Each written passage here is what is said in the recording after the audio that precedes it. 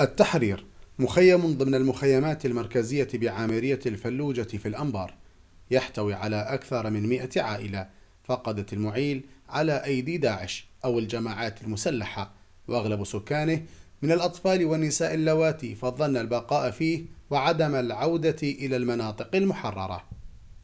وهسه أنا اني ظال هنا على مود آه، أروح على مود زلمتي أدق حاسبة على مود القرب على بغداد. لا حالتي تساعد لا عندي مادة. لو رحت رجعت. ما عندي حالتي ما تساعد وعلى مود زلمتي تدق حاسبه وقاعد بالمخيم مجبور لأن ما عندي. زلمتي منفقد وعلى مود أبحث عن زلمتي.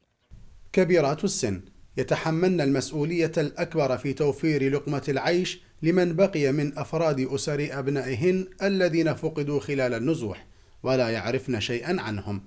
أما السكن في الخيم القديمة والبالية فهو حكاية أخرى. من سلسلة كابوس الشتات. إحنا من الغائم. واخذوا ولدي وخلوني وأنا ظليت هنا محدي بس الحريم وياي وجهال وياي. وباغي بالمخيم ما عندي أحد هناك. ها تريد ارد لل- للقائم وباغين بالمخيم للعيشه وجاعدين. إرهاب داعش سبب آخر لفقدان الكثير من الشباب المنتسبين للأجهزة الأمنية.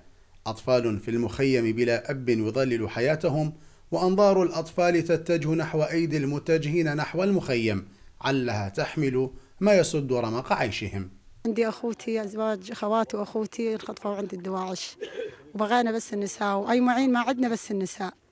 ونريد مني شوية عينة يعثر عليهم بهالطريقة هاي هالشكل. عوائل عدة لا ترغب بالعودة إلى مساكنها الأصلية بالمناطق المحررة في الأنبار لعدم معرفة مصير مفقوديهم. أما الحيرة فوحدها من تتملك هذه العوائل بوقت بدأت فيه الحكومة بإغلاق المخيمات في المحافظة. لقناة الفلوجة سلام خالد الأنبار.